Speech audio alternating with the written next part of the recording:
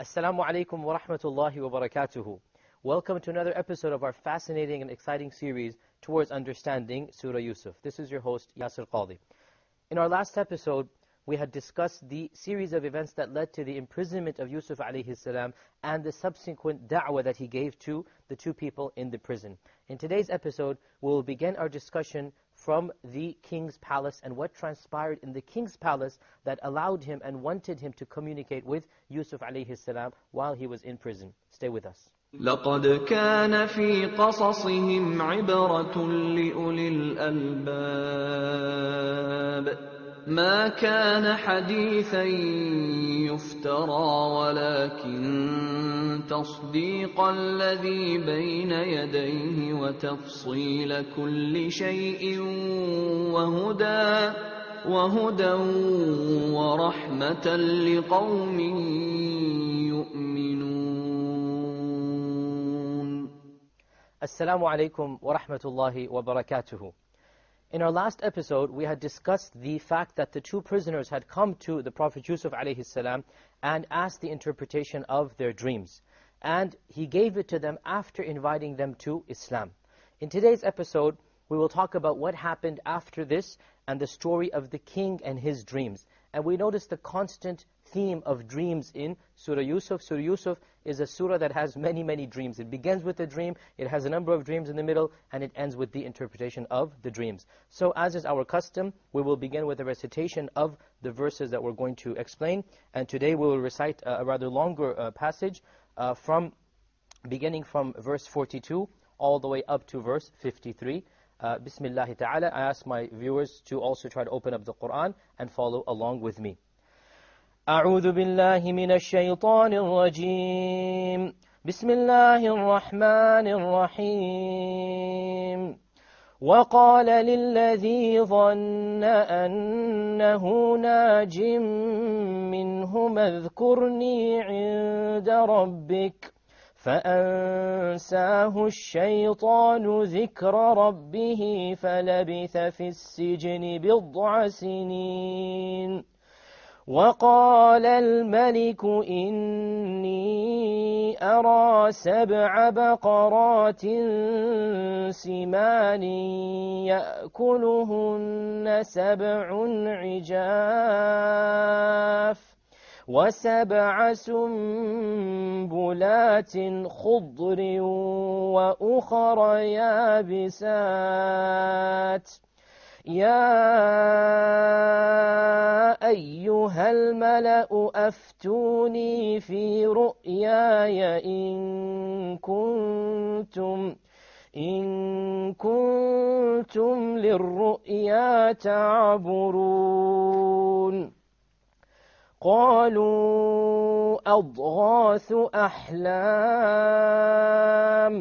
وما نحن بتأويل الأحلام بعالمين وقال الذي نجا منهما وادكر بعد أمة أنا أنبئكم بتأويله فأرسلون يوسف أيها الصديق أفتنا في سبع بقرات سمان يأكلهن يأكلهن سبع عجاف وسبع سنبلات خضر وأخر يابسات.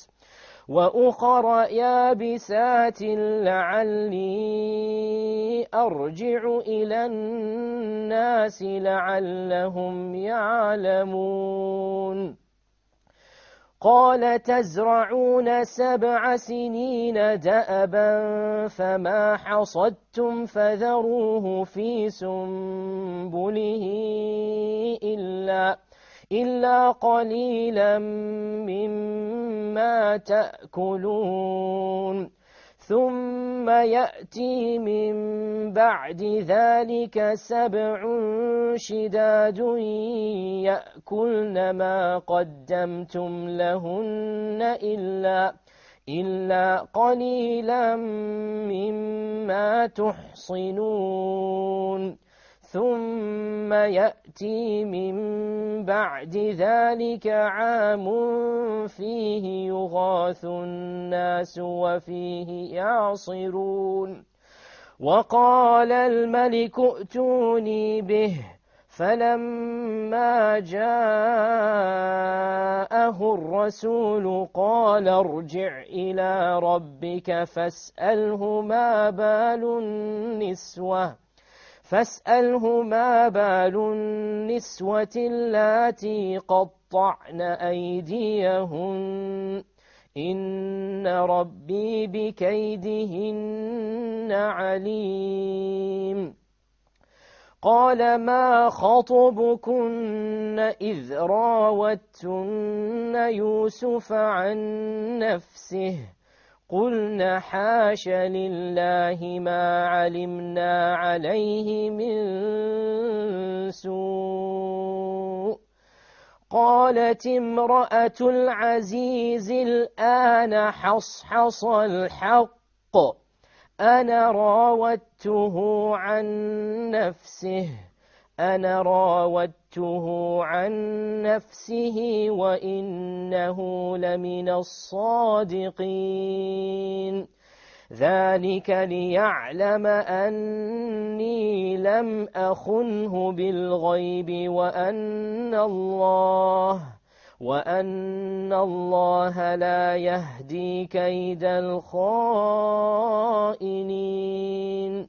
وما أبرئ نفسي إن النفس لأمارة بالسوء إلا إلا ما رحم ربي إن ربي غفور رحيم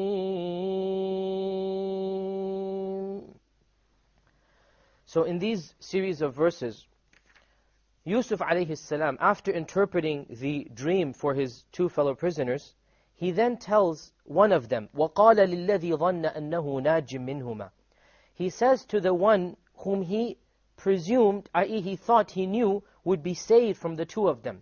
Remember, what was the dream? The dream was that one of them was pressing grapes to form wine. And the other one, he saw himself carrying a basket of bread, and the birds were eating from this basket. So he interpreted the dream, and he said, this one, one of you, and look at the politeness, he didn't say which one, because one of them is going to face death. So he didn't say, you are going to face death. He said, one of you will eventually go back to his master and continue to press wine and make wine for him. And the other, he didn't mention who the name was because this is a matter of politeness. The other will be crucified. He didn't want to make it even worse than it appears. And he says the other will be crucified and the birds will eat from his flesh. The birds will eat from his face. This is the interpretation of the dream, that the bread symbolized that the birds will be eating from his face. So one of them will be saved. So he said to the one whom he thought would be saved, اذكرني عند ربك mention me to your master i.e. the king now remember we said these were the servants of the king right so mention me to your king take my case to the king mention to him that I shouldn't be here this is incorrect for me to be here فأنساه الشيطان ذكر ربه so shaitan caused him to forget mentioning it to his Lord فلبث, فلبث في السجن بضع سنين so he remained a few years in jail now, there are two interpretations of this verse, and both of them are uh, correct linguistically, but only one is obviously correct in terms of what actually happened. The first interpretation is as follows. And the reason why there's a difference of opinion is because the names are not mentioned, but rather pronouns are mentioned. He said to his Lord. Who is the, the Lord? Who is the He? So the first opinion goes as follows. Yusuf said to the person who was going to be saved, the other prisoner, mention my case, the case of Yusuf, to your master, meaning the king. فَأَنْسَاهُ الشَّيْطَانُ ذِكْرَ رَبِّهِ Shaitan caused this servant to forget to mention Yusuf's case to his master, the king. Shaitan caused this servant to forget to mention the matter to his king. So because of this, Yusuf remained there for a number of years. The second interpretation Yusuf told the man to go tell his master about his case. فَأَنْسَاهُ الشَّيْطَانُ ذِكْرَ رَبِّهِ So this was incorrect. Yusuf should not have gone to the man. Shaitan caused Yusuf to forget to think of his Lord, i.e. Allah. So because of this, he remained in prison for many years. So the question arises, who was shaitan targeting? Was it this servant, in which case the servant forgot to mention Yusuf's case to the king? Or was it Yusuf, in which case Yusuf relied on the servant instead of relying upon Allah? And Yusuf turned to the servant instead of turning to Allah. And so shaitan caused Yusuf to forget mentioning his Lord. And because of that, Allah punished him by allowing him to remain in the prison for many years. Now, scholars have differed which of these two interpretations is correct. And inshaAllah ta'ala, the correct interpretation is the first one, not the second one. Why? Because there is absolutely nothing wrong to ask help from a person who is qualified to give you that help. There's nothing wrong in trying to defend yourself. There's nothing wrong in trying to get your case heard. And if this had been wrong, then it would have been wrong for Yusuf a.s. to defend his honor the first time. When he was accused of seducing the woman, he said, I didn't do it, she seduced me. So if it had been wrong, he wouldn't have done it the first time.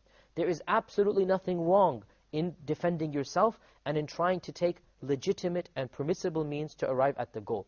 So the correct opinion is that this man who was released from jail returned to the service of the king and he continued pressing wine for the king and as is the case with all men, when the good happens to you, when you get out of your problems and afflictions, you forget about your problems. You forget about those who helped you. And this is not appropriate and right. The Prophet ﷺ said, whoever is not thankful to the people who helped him out, whoever is not thankful to his fellow men, it means he's not thankful to Allah. Why? Because these men who helped you, if you were in debt and they gave you money, if you were in any crisis and they helped you out, they were sent by Allah even if they didn't realize it. Allah Azza wa Jal was the one who provided them for you. So by thanking them, realizing Allah gave it to you, then you are in fact thanking Allah subhanahu wa ta'ala. The true believer is grateful for every favor that a fellow human being does, but he realizes this ultimate favor is due to Allah, so the ultimate blessings have to be given to Allah subhanahu wa ta'ala. So, Yusuf alayhi salam tried to get his case heard with the king directly. The ministers did what they did, and the king has no idea what happened. As is the case in all corrupt countries, ministers have power to do things that are against the law, and so they illegally jailed Yusuf. Yusuf alayhi salam did not deserve to be jailed. They illegally jailed Yusuf, and they threw him in, so now he's trying to get out. And he takes every permissible means. And this shows us in our religion, we don't just sit back and let things happen. In our times, we're facing a lot of problems, a lot of issues. We fight back in a legitimate way, not an illegitimate way. Legitimately, we defend our rights according to the laws of the land. We stay within the laws of the land. Yusuf alayhi salam did not go beyond the laws of the land. He took recourse and he took action according with the laws of the land. And he asked this person, go mention my case to your king. But shaitan caused him to forget to mention this. And because of that, Yusuf remained in prison for a number of years. We'll take a short break now, and we'll come right back and continue discussing the story from where we left off. Stay with us. لقد كان في قصصهم عبرة لأولي الألباب كان في قصصهم عبرة لأولي الألباب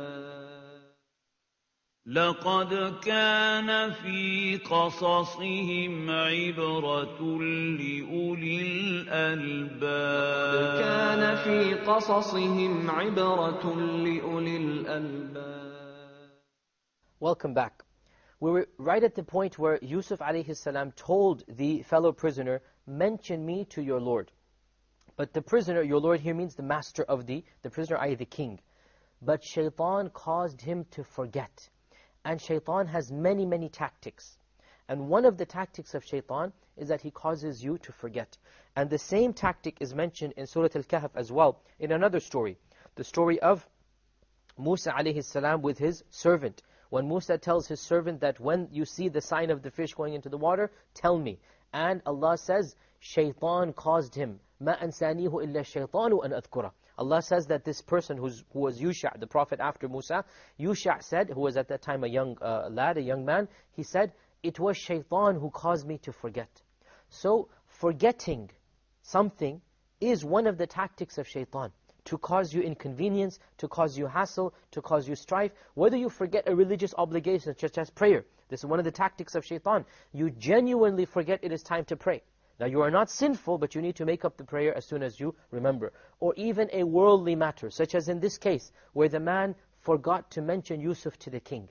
So shaitan was the one who caused this in order to inconvenience Yusuf more in the prison. Therefore, realize that this is one of the tactics of shaitan to try to make you forget something.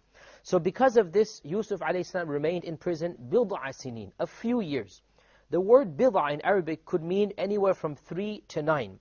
So most scholars interpret that Yusuf a.s. stayed around eight, nine years in prison. And remember, he entered the prison as a young man. So by the time he came out, he was probably in his uh, late 20s or, or, early 30s. This is the rough estimate of the time age that he would have been in. So this prisoner returns to the palace of the king, and he is freed from jail, and he becomes the servant again, and he continues to feed his master wine, as it was his custom before he entered prison. And many, many years later, as we said, probably around seven, eight years later, the king sees a very strange dream. What was the dream of the king? The king saw that seven fat cows were being eaten by seven thin ones. And he saw seven grains of corn that were full. And he saw seven grains of corn that were withered away and shriveled up.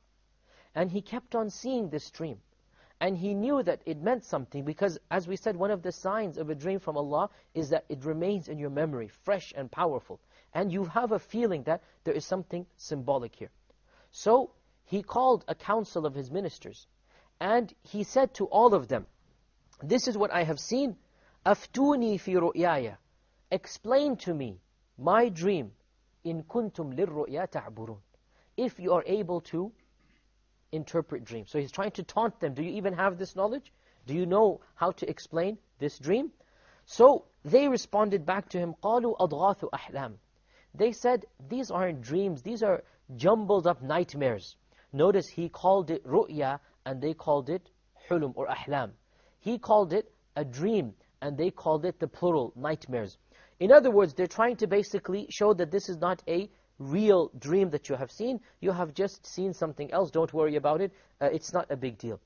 But when he announced this in the large gathering of famous ministers, of all of his, of his, of his people around him, right there present was also the person who gave him his wine. The very person who was freed from jail along with Yusuf. And so, وَقَالَ الَّذِي نَجَى مِنْهُمَا The one who was saved from those two. وَادَّكَرَ بَعْدَ أُمَّةٍ and he remembered after a long time. He remembered the whole story. And as we said, this is the nature of man. That when something evil happens to you, you don't think about it. You don't want to ponder about it. When something good happens to you, you overlook the one who gave you that good. You forget about it. And you forget the state that you were in, in the state of evil. So this person basically covered up his memory. Shaitan caused him to do so until the king jarred that memory, until the king saw a dream and he remembered, this was the one who also interpreted a dream. So, وَقَالَ الَّذِي نَجَى مِنْهُمَا وَادَّكَرَ بَعْدَ أُمَّةٍ أَنَا أُنَبِّئُكُمْ بِتَأْوِيلِهِ فَأَرْسِلُونَ he, he told the king, I will, I will interpret it, so allow me leave to go. Give me permission to take the day off and find out the interpretation of this dream. Notice he said, I will inform it of you. In other words, he wanted to get some favor from the king. He wanted to become famous. And such is the way with all people who lack true humility and iman, they want to take the credit for themselves. Even though it was Yusuf who was going to tell him. He didn't say that, I will bring somebody who will tell you. Rather, he said, I will tell you of its interpretation, so send me. So he rushes back to the prison that he was saved from, that he occupied for many years. He rushes back to that jail, and he says, the king has sent me, allow me to go in. I need to speak to this prisoner. And he says, Yusuf ayyuha siddiq. O Yusuf, you noble man. O Yusuf, you truthful person, no apologies, no introduction, no nothing. Immediately he jumps in and he begins by buttering Yusuf up, by praising him. O Yusuf, you noble man, give me the interpretation. Aftina, tell us what does it mean? في سبع بقرات سمان Seven fat cows, يأكلهن سبع عجاف that are being eaten up by seven thin cows. Seven thin cows are eating up seven fat cows. وَسَبْعِ سُنْبُلَاتٍ خُضْرٍ And seven lush grains of corn. وَأُخَرَ يَابِسَاتٍ And seven very dry ones. لَعَلِّ أَرْجِعُ إِلَى النَّاسِ He says, I want to go back to the people, لَعَلَّهُمْ يَعْلَمُونَ So that they can tell, we can tell them what happens. So, he doesn't even say who the dream is from. He doesn't now want to give it away. Still, this middleman wants to try to get the information from Yusuf, go back to the king, and become famous himself. And amazingly, Yusuf alayhi salam gives him what he wants. He doesn't reprimand him. He doesn't say, did you mention me to your king? What is the matter? Look at the patience of Yusuf alayhi salam. He explains the dream. And he interprets it immediately, without criticizing the man, without questioning him, without any hint of being angry. Why are you coming to me now after you have abandoned me? Why should I help you out when you didn't help me out? No, this is not the character of Yusuf alayhi salam. He says immediately, قَالَ تَزْرَعُونَ سَبْعَ سِنِينَ دَأَبًا he said, you will harvest your grain for seven years. Da'aban means like you were used to, as was your custom. For seven years you will continue this very custom that you used to do. فَمَا حَصَدْتُمْ فَذَرُوهُ فِي سُنْبُلِهِ Whatever you harvest from the grain, from the crops, all of this corn, leave it in its outer shell. Leave it there. إِلَّا قَلِيلًا مِمَّا تَأْكُلُونَ Except for a little bit that you have to eat. The rest of it, leave it stored. And then he said, ثُمَّ يَأْتِي مِنْ بَعْدِ ذَلِكَ Then they will come, after this, سَبْعٌ شِدَادٌ Seven very, very tough years, years of drought. So after seven consecutive years of harvesting, they will be followed by seven years of drought. يَأْكُلْنَ مَا قَدَّمْتُمْ لَهُنَّ They will eat up all that you have stored, إِلَّا قَلِيلًا مِمَّا تُحْسِنُونَ Except for a little bit of what you had preserved. ثُمَّ يَأْتِي مِن بَعْدِ ذَلِكَ عَامٌ And then there will come one year, فِيهِ يُغَاثُ النَّاسُ وَفِيهِ يَعْصِرُونَ A lot of rain will fall. It will be a very bountiful year, and they will be, have so much produce, they will even be able to produce wine from it, which is a luxury item. You don't have to eat the food, you don't have to take the grains uh, or, the, or the grapes, you can even produce wine from it. Notice here a number of points. Firstly, as we said, the patience of Yusuf alayhi salam. And this patience is so marvelous that even our Prophet Muhammad sallallahu alayhi wasallam was amazed at it. He said, I am amazed at the patience of Yusuf. Ajibtu. I am amazed and astonished at how patient Yusuf is. This is our Prophet speaking. He said, I am amazed at the patience of Yusuf salam. When the man came back to him, I would not have given him that information. This is our Prophet speaking. I would not have given him that information until I put a condition that they release me from jail.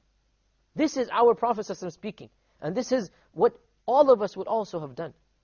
And he says, I am amazed at how patient he was, that after languishing in jail, it must be now over 10 years he has been in jail, after the interpretation of the dream. Because remember, the dream was interpreted after he, he entered jail. And then after that, another seven years. So he's remaining in jail for almost a decade for not having done any crime.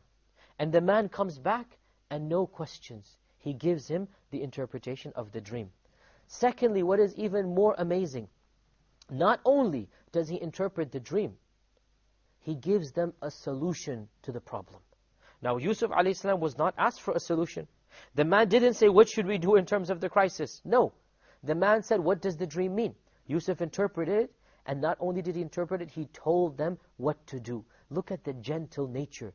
Look at the kind character of this Prophet of Allah. That he wants good for them. And they are not even Muslims, by the way. But he wants good because they are his fellow men. He wants good because these are the people that he is living amongst. So he wants good for them. So he tells them, I will tell you what to do. For seven years, when you harvest your crops, then don't get rid of it. Don't plant it. Rather, store it away. Keep it for the future. Then you will accept for the portion you will have to eat. Then you will be followed by seven years of drought. Seven years of difficulty, these will eat up the seven years of produce. And this is the interpretation of the seven cows eating, the seven thin cows eating the seven fat cows. The seven fat cows represent the harvest for that year. Fat and plump, lots of rain. And the seven thin cows represent seven years of no rain. So the seven years of no rain will eat up the produce of the seven years of bountiful produce. So the seven years of drought will eat up the seven years before it. And this is the interpretation of the dream. Now, an interesting question arises. Okay, we understand the symbolism here of the seven fat cows meaning seven years of, of full grain, and the seven thin cows meaning seven years of drought, and of course the seven full blossoming corn and the seven withered corn rep represents the same thing. But where did Yusuf a.s. get the one year after the seven? He said, and then there will come a year, there will be much water and much uh, rain, and you will actually be able to produce wine. Where did this one year come from? And this shows us the insight of Yusuf salam after seven years of drought. In order for seven years of drought to be washed away, you must be flooded with a deluge of rain. Extra rain must come to wipe away seven years of drought. So this is what Yusuf salam infers from the dream, even though the dream does not mention it explicitly. He says, after these seven years of drought, there will come a year where there will be plenty of rain. So much so, you will even be able to produce wine from it. And this brings us to the conclusion of today's episode. Insha'Allah ta'ala, in our next episode, we will continue explaining these very verses that we have recited. I hope to see you then. Until next time, Assalamu alaikum wa rahmatullahi barakatuh. لقد كان في قصصهم عبرة لأولي الألباب. كان في قصصهم عبرة لأولي الألباب. لقد كان في قصصهم عبرة لقد كان في قصصهم عبرة لأولي الألباب.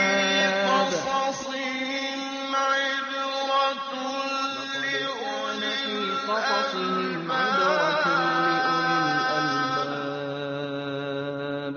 ما كان حديثا يفترى ولكن تصديق الذي بين يديه وتفصيل كل شيء وهدى وهدى ورحمة لقوم